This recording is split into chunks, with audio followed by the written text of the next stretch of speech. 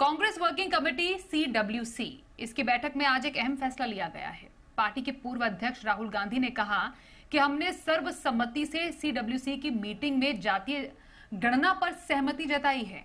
राहुल गांधी ने यह भी कहा कि जातीय गणना को लेकर हम राजस्थान, छत्तीसगढ़ और हिमाचल सहित अन्य कांग्रेस शासित राज्यों में आगे बढ़ेंगे और इसको लेकर हम बीजेपी पर भी दबाव बनाएँगे। चार घंटे हमारी कास्ट सेंसस पे चर्चा हुई डिस्कशन हुआ और एक ऐतिहासिक निर्णय कांग्रेस वर्किंग कमेटी ने लिया है। काफ़ी खुशी की बात है। हमारे यहाँ चीफ मिनिस्टर्स बैठे हैं। हमारे चीफ मिनिस्टर ने भी डिसीज़न लिया है कि वो भी राजस्थान में, कर्नाटक में, छत्तीसगढ़ में हिमाचल में कास्ट सेंसस को आगे बढ़ाएँगे।